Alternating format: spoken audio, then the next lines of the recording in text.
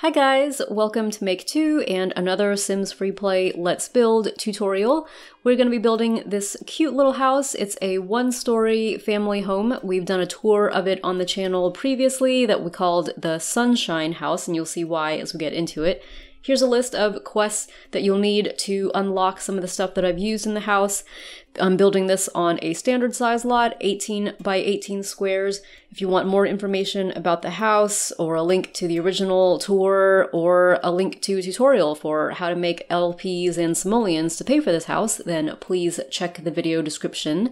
So we got a handful of comments recently asking us to build a smaller house which is always the kind of comment you want to get after you've spent like days working on a big house. But I do understand the reason for asking because big houses in this game are pretty expensive, and it has been a while since we've done a Let's Build tutorial for a smaller house, so this is gonna be it.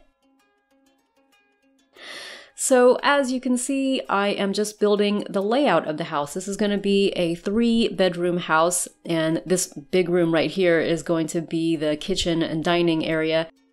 This room right here is going to be the living room. And that is basically it for the house on the main floor. The house will have a basement. It's an optional basement, I would say. You don't have to have a basement. I just felt like it was fun to put one in, and I had the room for it on this lot.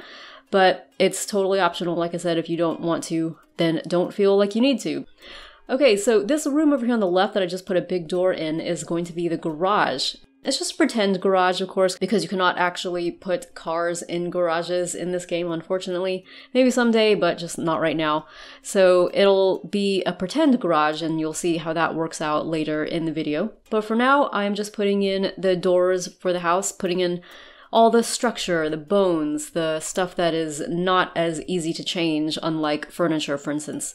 But I will be putting all the furniture and decorations in later in the video as well, because sometimes it's nice to see how that works out for inspiration and example, of course. As usual with Let's Build tutorials, please feel free to make whatever changes you want to this house if you're building it in your own town. Be creative, put your own spin on it. The only thing that we ask is that if you share pictures or video of your version of the house on social media, then please just let people know that you were inspired by us Make 2. So that is all the doors put in, and now we put in the windows. As you can see, I'm using some of the Snow Chalet stuff. These were unlocked with the Snow Problem quest, which was recently rerun in the game. So for those of you who were able to complete it when it was rerun, then maybe you'll like how I've used some of the stuff in this build. Now the windows I'm putting in now are from the Island Villa, which is unlocked by completing the Love and Treasure quest. I do believe it's a discovery quest. You can start by building the island off of the mainland in the town map.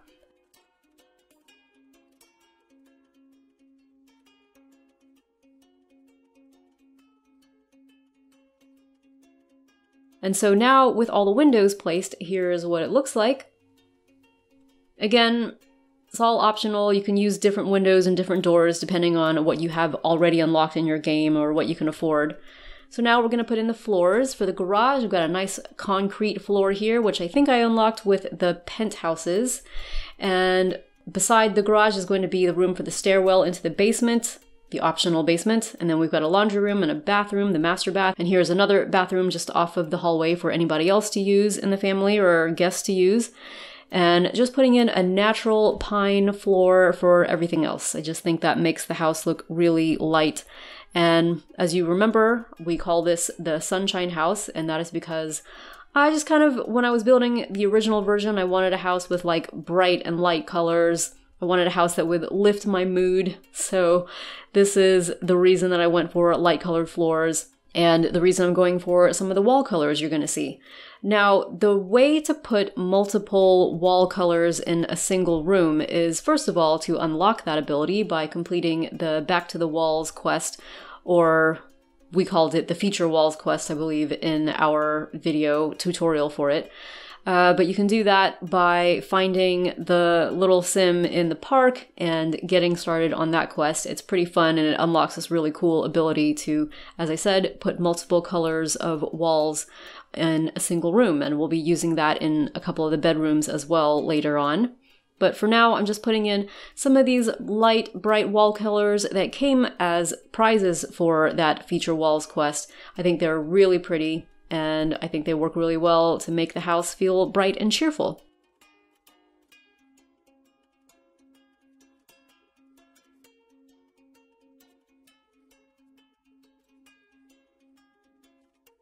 All right, so now that I put in all the bones of the house, we're gonna put a little patio in front. And this is just gonna be like a pretend porch for the house. I think that adds a cute little look. And around the edges of the patio, I've got this green marble railing and putting in a double gate in front so that Sims can actually use the front door. And now that that's done, we can add a little bit of decoration to the porch. So starting with a welcome mat here in a lovely yellow. Couple of plants, I think those are always going to be very welcoming for people.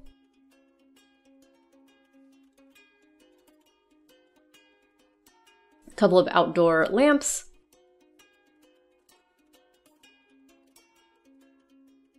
And now we can get into decorating the inside of the house. So to begin with, I'm just gonna put down, if I can find it, here, a white coat rack, which was added to the game with the hair salon limited time event. And you can put whatever you want there. A plant, I think, would be nice. For us, we're going to put a plant over here on the right side of the room. This is a two by two square plant, so I think it looks nice in front of that window. And then we're gonna just put some furniture down. So I'm gonna start with this angled chair. I think that was also from the hair salon event. And a white sofa from that island villa that I mentioned before. I think those look good together. White and this kind of aqua or mint color of the chair. Here's a pink two-seater version of the island villa couch. And then in the middle, going for this bright gold snow chalet coffee table. So as you can see, just going for these lovely mood-lifting colors.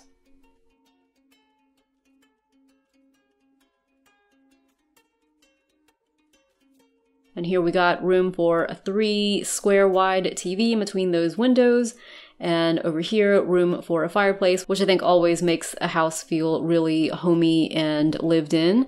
And then we've got French chateau bookcases on either side of the fireplace. I really like the look of built in bookcases on either side of a fireplace. But you kind of have to pretend with Sims Free Play, and I'm not even sure you can do built-ins with Sims 4. I think maybe a modder or a you know custom content creator could make something like that, but with the stuff that we have in the actual game and the game packs, I'm not sure that you can even do that. But anyway, it's a request going forward for Sims games. So now we're getting into the kitchen. Recently, we had the Luxury Living limited time event, and that gave us a whole bunch of lovely countertops, as you can see in navy and white. So I thought these would work really well against the green and blue of the wallpaper that I've used. I've gone for tiled wallpaper, as you can see on the sides with the counters, and solid wallpaper or paint on the sides without. So you'll see how that works out in a little bit, hopefully. But basically, we've got an island situation here in the middle, refrigerator on the left, and then the stove and a range hood over it. So that's basically the kitchen. And on the left bottom part, that's meant to be more like a sideboard, so you can have like extra storage for food, dishes, that kind of thing. So at the island, we've got room for three bar stools, which came from the urban living event, I believe. And then in the middle, we now have room for our dining table. This is going to be just a four seater dining table. If you wanted it to be a bigger dining table, say for a bigger family, you could just make this room bigger. You could extend the room further down and give yourself a little more space to make a bigger table and more chairs. And now we're getting into the garage. So I don't know what you guys use garages for, but when I was growing up, my dad always put his tools in the garage. So that's why I put the woodworking bench there from the hobby store. And there's a refrigerator because my parents also like to have an extra refrigerator, freezer in the garage. And this preteen bed, which is shaped like a car, so that you can pretend that this is actually a car sitting in the garage. But that's totally a luxury. You don't have to do it if you don't want to. So now we've got our laundry room and just putting in some of the stuff. These laundry items are unlocked from the laundry limited time event. I have been talking about a lot of limited time events. If you've missed any of them, then I think it's a fair guess to say that they will be repeated in the game at some point. They often are. So, no worries if you are still waiting on items like laundry or special windows or whatever. If you're patient, I think you'll see them again in the game. All right, so this is the master bathroom, which is part of the master suite. That master suite includes a walk in closet,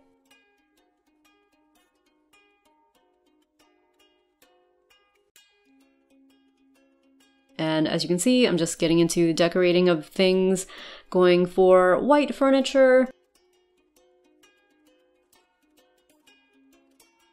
This romantic four poster bed.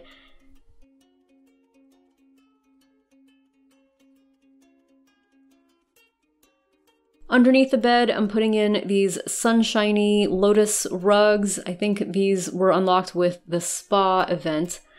But yeah, just adding things here and there to brighten up the room and keep the colors nice and light.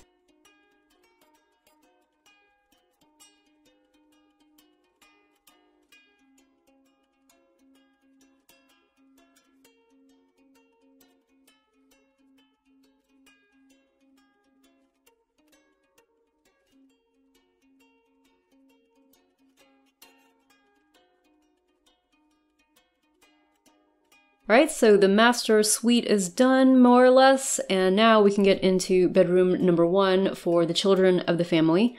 So what I'm using here is two custom closets on either side of two laundry countertops to make kind of like a big closet and shelf unit for the child.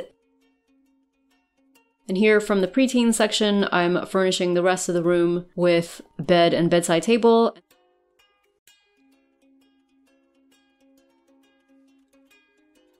And then from the teen section, a desk, which came from the Teen Life event, I do believe. And here, working on bedroom number two, a TV gaming station, which I think also came from the Teen Life event. But then mixing it up a bit, dipping into the preteen section for this desk over here, and for the bed.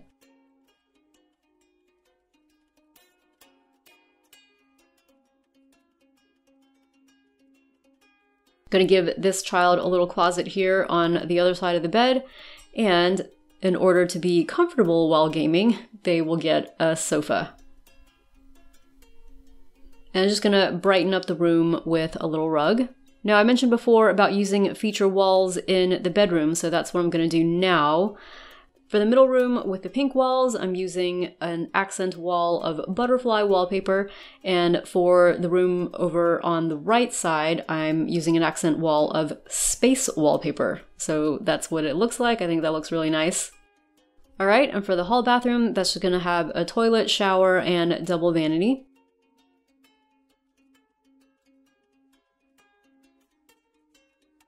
So that is basically the first floor done, and you could call the house done here if you wanted to. I want to put a basement in. But like I said, the basement is totally optional. Basements are expensive, and in order to unlock them, you'll first need to complete a whole bunch of quests. You'll need to complete the patio quest, and then the multi story renovations quest, and then the balcony quest before you can do the basement quest. So it's a lot of work to get there, and then they are expensive once you do. But they add some nice bit of space to a house, I think.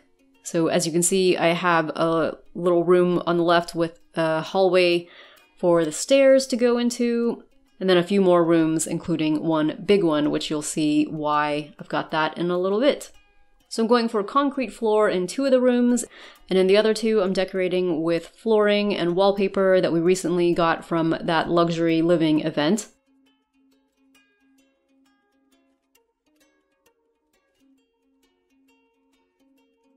Now I'm just putting the doors in.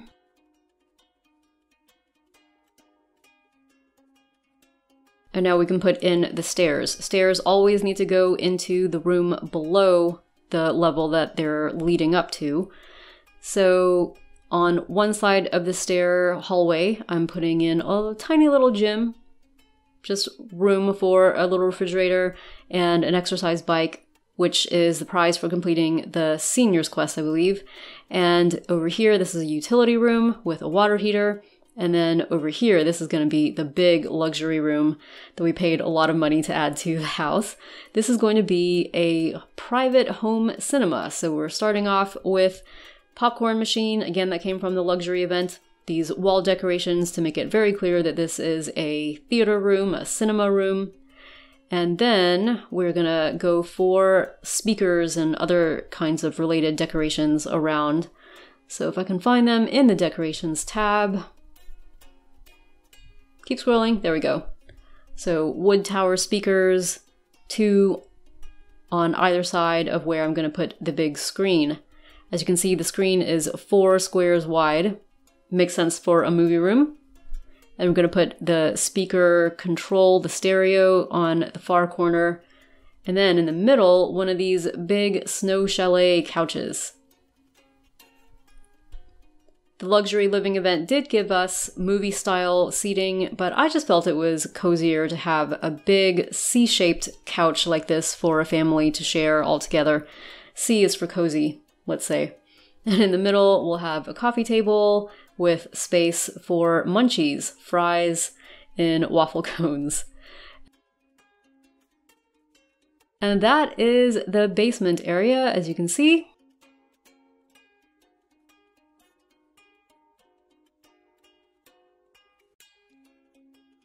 And now we can do just a tiny bit of landscaping because I think it makes the house look that much more cheerful if you've got plants outside.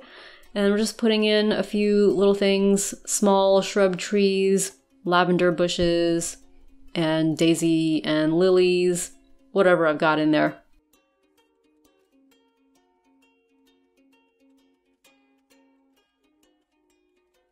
So that is the house.